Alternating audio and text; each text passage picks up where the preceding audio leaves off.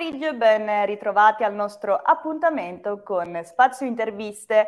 Oggi riviveremo la storia del cinema partendo proprio dalla Calabria, grazie a Alessandro Nucci, regista, e Fabrizio Nucci, produttore. Ciao Alessandro, ciao Fabrizio, benvenuti. Ciao Francesca, grazie. Ciao Francesca, buon pomeriggio, grazie. Allora, Fabrizio e Alessandro, due volti giovanissimi che... Um, vogliono raccontare una, una, storia importante per la Calabria, ma che non tutti conoscono. Infatti io sono rimasta davvero mh, entusiasta di leggere come appunto Tony Gaudi, un personaggio di spessore mh, che ha fatto davvero la storia nel cinema e nella Calabria, sia così poco discusso. Io infatti Alessandro volevo chiederti Tony Gaudio, chi è, perché è così importante per la Calabria, perché si è scelto di prendere lui come personaggio per un, un vero e proprio documentario, Lo Scar dimenticato, appunto. Allora, intanto grazie mille per i giovanissimi. allora, Francesca, io credo che eh, appunto Tony Gaudio oh, sia un personaggio da raccontare perché in qualche modo uh, è eh, una figura che ha aleggiato per tanti anni, soprattutto sulla città di Cosenza, senza che nessuno se ne accorgesse. C'è un edificio su Corso Telesio, che probabilmente quasi tutti a Cosenza hanno notato, dove è riportata una, una scritta in alto, foto Gaudio. Mai nessuno si è chiesto più di tanto chi fossero questi Gaudio, cosa fosse questo studio fotografico. Noi abbiamo approfondito circa tre anni fa questa, questa materia sulla quale erano comparsi qualche articolo, era comparso qualche articolo online, la Cineteca della Calabria aveva organizzato una, una rassegna uh, tempo fa, ma poi tutto era caduto nel dimenticatoio. Noi siamo ripartiti da queste ricerche e abbiamo scoperto tutto un mondo. Abbiamo scoperto che eh, da questo piccolo studio fotografico oh, a Cosenza uh, eh, poi è partito, sono partiti anzi due fratelli, Tony e, e Antonio Gaetano, poi diventato Tony in America, è, è, Eugenio, poi diventato Eugene. Questi due fratelli emigrarono nel 1906 e prima a New York, poi successivamente si trasferirono a Los Angeles e diedero vita a, a una a vera e propria rivoluzione nel mondo della fotografia cinematografica. Infatti da fotografi divennero direttori della fotografia nel cinema, um, poi Eugene morì abbastanza giovane purtroppo, quindi è stato soprattutto Tony a portare avanti eh, l'arte della famiglia uh, e Tony eh, rivoluzionò lo stile dei film di Hollywood introducendo delle tecniche di illuminazione, uno stile fotografico completamente innovativo e rivoluzionario rispetto a quello fino ad allora utilizzato, divenne uno dei direttori della fotografia più in voga nella Hollywood degli anni 30-40, divenne il preferito di un'attrice importantissima come Betty Davis, e poi nel 1937 vinse eh, questo Oscar per il film Anthony Adversi, Avorio Nero in italiano, e questo Oscar del 37 di fatto è il primo Oscar a essere stato vinto da un italiano, molto prima dei più noti De Sica, Fellini, Loren e tutti gli altri che conosciamo bene, ecco, fino ad arrivare a Benigni e gli altri. Evidenziamo proprio questo, Tony Gaudio è il primo italiano a vincere un Oscar nel 1937, se non erro, esatto. ci, ci, siamo documentati, esatto. però eh, c'è una, una peculiarità, una particolarità che non tutti sanno, che non so se siano leggende metropolitane o che altro, mi dirai tu, ma che questo, questa statuetta è andata persa, giusto per questo, diciamo, l'Oscar dimenticato. Sì, diciamo che appena mh, iniziamo nel 2020 a lavorare su questo documentario, chiaramente una delle prime domande che ci siamo fatti con Fabrizio è dove si trova l'Oscar? Vorremmo riprenderlo chiaramente in un documentario, l'immagine è importante, quindi vorremmo vedere questo Oscar. Ebbene, è stato praticamente impossibile capire eh, all'epoca che, che, fine avesse fatto questa statuetta. Um, questo anche perché la vita privata di Tony Gaudi è stata abbastanza tormentata, più matrimoni,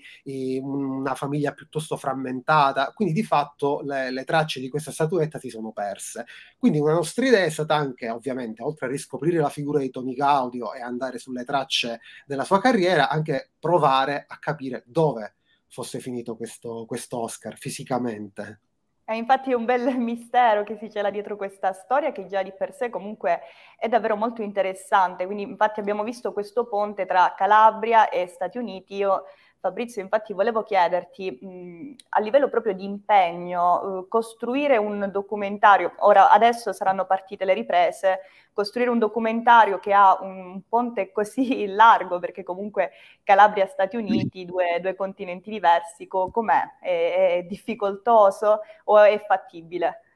Sicuramente non è stato semplice, non è semplice, il lavoro non è ancora concluso, siamo appena rientrati da una sessione di riprese negli Stati Uniti, eh, iniziati i primi di gennaio, in cui abbiamo raccolto il grosso del materiale che poi confluirà nel, nel montaggio del documentario e che racconta tutta la, la, parentesi, che è anche quella più lunga, scusate, rispetto alla vita di Tony Gaudio, la parentesi americana, quindi dal suo arrivo negli, negli Stati Uniti a New York a Ellis Island, come tanti altri emigrati italiani dell'epoca, parliamo dei primi del Novecento, che eh, attraversavano l'oceano alla ricerca di, di, un futuro alternativo e migliore di quello che, che lasciavano appunto dalla, sulle, sulla sponda europea del, dell'oceano proseguendo fino a Los Angeles, dove poi appunto è avvenuta la consacrazione con la vincita dell'Oscar del 1937 per concludersi poi a San Francisco dove si ritirò alla pensione dove poi effettivamente è morto negli anni 50. Quindi una storia che parte da Cosenza, parte dalla Calabria, passa anche da, da Roma e dal Piemonte perché eh, si presume, lo dichiarò Tony in diverse interviste, rilasciate negli anni 20 e negli anni 30, che egli lavorò prima di emigrare negli Stati Uniti anche per una delle primissime e più importanti società di produzione italiane, l'Ambrosio Film di Torino, eh, e poi per appunto il passaggio negli Stati Uniti. Noi abbiamo cercato di riprendere un po' tutta questa, questa lunga avventura, anche a livello chilometrico, che Tony Gaudi ha vissuto all'interno della, della, sua vita, non solo per intercettare appunto le, le situazioni utili da intervistare e da coinvolgere, in tutti questi territori, ma anche un po' per, per rivivere in prima persona l'emozione di, diciamo, di, di, anche della diversità, della diversità tra tutti questi territori, che sicuramente sono anche cambiati negli ultimi cento anni, ma che continuano a mantenere diciamo, quelle distanze che, che poi spesso, grazie all'ar- all'arte, come nel nostro caso del documentario, vengono colmate. Abbiamo impostato un percorso produttivo che è partito proprio dalla Calabria, quindi con il sostegno della Fondazione Calabria Film Commission, di altri partner del territorio, quale ad esempio il comune di Cosenza, eh, con il quale abbiamo anche condiviso un'altra situazione molto interessante, l'inaugurazione di una targa a Corso Telesio dedicata proprio a, a Tony Gaudio sulla palazzina storica che prima citava Alessandro, dove è ancora presente l'insegna del, del negozio fotografico di famiglia. Sì, anche perché comunque è una figura, come, come, vediamo, una figura che è davvero dimenticata e non... Non certo, no, infatti, infatti non c'era, non c'era, a parte la targa, ma perché era rimasta da allora, quindi la targa è proprio l'insegna del negozio Abbiamo pensato, e poi i partner del territorio, tra cui la Calabria Film Commission e il Comune di Cosenza, hanno condiviso la provincia di Cosenza questa nostra intenzione, quindi da, da settembre del 2022 è presente anche una targa sulla palazzina appunto di, di Fotogaudio. Negli Stati Uniti un, tutta una serie di altri partner, eh, tra cui la, la fondazione, la Tony Gaudio Foundation, che è una fondazione nata da poco, eh, che è stata creata da parte dei, dei discendenti della, di Tony e Eugene Gaudio, che appunto si prefigge di, di anche lei di, di, fare in qualche modo riemergere la memoria e il ricordo di questa, di questa figura, eh, ma anche partner appunto sul Piemonte, una coproduzione che si chiama Officina 38, il Museo Nazionale del Cinema di Torino, altri partner sul territorio della Calabria, tra cui anche alcuni partner mh, privati, eh, Carpe Natura La Molazza, che è uno sponsor che ci ha anche supportato in questo nostro viaggio negli Stati Uniti, insomma vado alle conclusioni. Sicuramente un percorso molto complesso su cui stiamo lavorando ormai quasi da, da, tre anni, sono due anni e mezzo che lavoriamo a questo progetto, però siamo tornati carichissimi appunto da queste riprese negli Stati Uniti perché abbiamo avuto la possibilità di, di intervistare delle personalità del cinema molto importanti e che eh, contiamo possano rappresentare al meglio l'importanza eh, non solo appunto l'avventura, come dicevo prima, quindi l'interesse che c'è verso questa figura per lo straordinario percorso che ha fatto cavalcando il sogno americano, ma l'importanza reale e concreta che ha avuto per il cinema, per le invenzioni che ha introdotto sotto un punto di vista tecnico, per cui il cinema che conosciamo oggi è anche frutto di, delle invenzioni e delle, delle innovazioni che ha portato come pioniere della fotografia Tony Gaudio. Ecco, infatti proprio su questo io mm, volevo chiedere a te, come ad Alessandro, e andare a riprendere la, la, vita di un così importante artista comunque è una responsabilità, cioè immagino che ci siano proprio dei tratti che avete avuto a cuore um, far emergere all'interno del documentario, proprio per rendere la, la figura di Tony Gaudio um, una, una, sorta di dignità eh, per, per ciò che è stato dimenticato, appunto, immagino. Allora, diciamo che eh, ci siamo trovati di fronte ad, alcune, mh, ad alcuni aspetti un po', un po' complicati. Allora, dal punto di vista artistico c'è un mondo per quanto riguarda appunto la produzione di Tony Gaudi. Avendo lavorato ad alcuni dei film più importanti degli anni 30-40, appunto con grandissime star, grandissimi registi, e non solo il, materia- il materiale era tanto, ma abbiamo anche eh, avuto la fortuna di trovare eh, delle personalità che già si erano cimentate con il lavoro di Tony Gaudio. Per esempio, una delle nostre interviste è stata Patrick Keating, che già una decina di anni fa aveva scritto un libro su questo cambio di stile nella fotografia che è avvenuto negli anni 30-40 e Tony Gaudio era una delle figure il cui lavoro era stato oh, analizzato da Keating, quindi da questo punto di vista è stato molto facile. Quello che è stato un po' più difficile invece è stato oh, analizzare l'uomo, tra virgolette, come si suol dire, capire qualcosa di più di, di Tony, cioè chi era Tony Gaudio. Devo dire che per fortuna anche da questo punto di vista abbiamo trovato del materiale, chiaramente molto meno, ad esempio è molto difficile trovare foto private, cosa strana perché chiunque penserebbe che un eh sì, direttore della fotografia uh, stia tutto il tempo a farsi foto magari nella vita privata, invece no, questo non è vero, è un uomo, un grandissimo lavoratore, quindi tutte le foto di, di Tony che abbiamo trovato sono foto nel backstage dei film. Però, per esempio, oh, c'è da dire che la rivista dell'American uh, Society of Cinematographers, che è l'associazione eh, eh, americana dei direttori della fotografia, che fu fondata tra gli altri da Eugene Gaudio e di cui Tony è stato presidente per alcuni anni, questa uh, associazione ha una rivista, un magazine che si chiama American Cinematographer, che ancora è tuttora uh, diciamo edito anche in forma digitale. All'epoca chiaramente in forma digitale no, però appunto era una rivista uh, un po' che raccontava anche Hollywood. E c'erano delle rubriche un po' simile a quello che oggi è Dagospia, quindi c'erano sì, curiosità, c'era un po' di gossip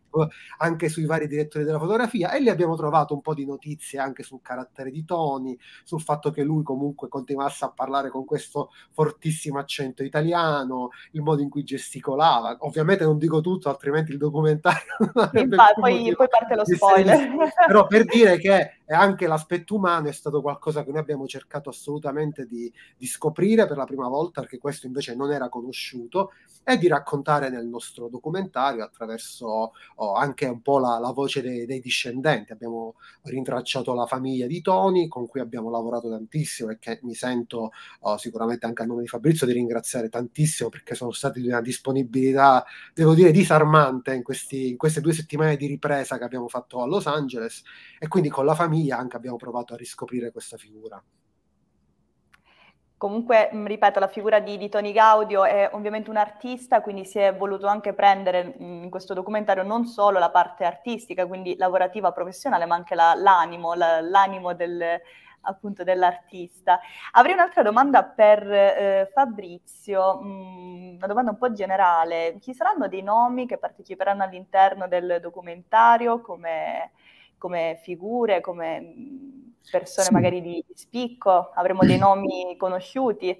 Guarda, sicuramente possiamo condividere ehm, senza voler togliere nulla a nessuno, ovviamente, perché abbiamo eh, Alessandro citava Patrick Keating, che è un docente all'Università del Texas, abbiamo un altro docente dell'Università della California che anche lui ha raccontato un po' non, qualcuno di voi sicuramente l'avrà visto il film Babylon che è nel cinema proprio in questi giorni, quindi ha raccontato sì, anche certo. un po' le atmosfere, la trasformazione della, di Hollywood degli anni, degli anni d'oro, quindi gli anni che ha vissuto anche Tony Gaudio, ma poi diciamo per eh, per il grande pubblico condividiamo questi due nomi che ehm, abbiamo proprio intervistato in questi giorni negli Stati Uniti, cioè uno è Richard Edlund che quattro volte premio Oscar ha collaborato con, in diversi film importanti e conosciutissimi, quali Ghostbuster, ehm, eh, Star Wars, eh, tantissima Indiana Jones, e quindi come dire, sicuramente un profilo alto del cinema, del cinema hollywoodiano internazionale, ma anche personalità un po' più vicine al nostro, territorialmente parlando, sebbene ormai americano, perché parlo di, di Mauro Fiore, un altro direttore della fotografia, un altro premio Oscar, nato a Marzi, eh,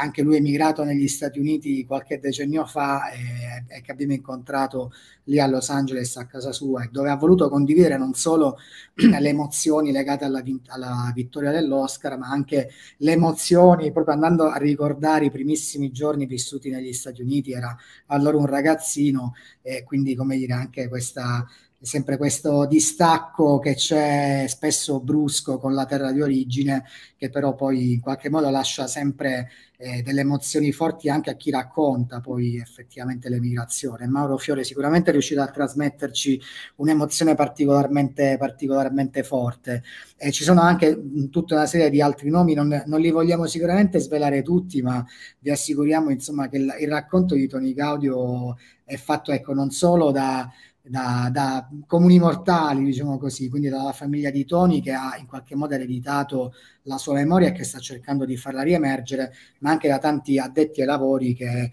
eh, spesso, ecco, d- dall'altra parte dell'oceano in maniera un po' più consapevole, ma eh, come dire, questa figura sta ritornando anche qui in Italia ad emergere e che hanno voluto condividere insomma questa, questa grandiosità di Tony Gaudio sia da un punto di vista professionale ma, ma anche umano. Assolutamente Fabrizio, guarda, allora quindi l'Oscar dimenticato possiamo dire quando uscirà, quando potremo avere mm, l'onore di, di poterlo verrà, vedere. Verrà completato entro, entro, l'estate di quest'anno e puntiamo a una prima presentazione, ovviamente ce ne saranno diverse proprio per i diversi territori coinvolti, quindi vogliamo presentarli in maniera più o meno parallela eh, sia in Italia che negli Stati Uniti, presumibilmente nel mese di novembre perché ricorre un, un anniversario della, della, nascita di Tony Gaudio, sono i 140 anni, ah, vado a memoria, e quindi sì. vogliamo approfittare di questa, di questa, ricorrenza, quindi dovrebbe, nell'autunno dovrebbe essere presentato in anteprima, ma vi aggiorneremo sulla data esatta ovviamente appena la sapremo. Noi attendiamo mm, con eh, grande voglia di vedere appunto cosa ne, ne è emerso da, questa, da, questo duro lavoro che c'è stato. Sono sicura che eh, farà emergere il nome di una così importante figura, soprattutto per il territorio calabrese. Ne abbiamo bisogno di, di avere una buona reputazione anche nel mondo, anche negli Stati Uniti. Io vi ringrazio Alessandro e Fabrizio, spero di eh, rivederci prima del, dell'uscita del, del documentario. E io saluto grazie tutti voi, Calabria News, da Calabria News 24 è tutto, grazie.